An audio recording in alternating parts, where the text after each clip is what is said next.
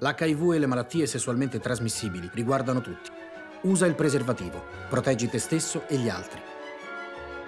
Con l'HIV non si scherza. Info su salute.gov.it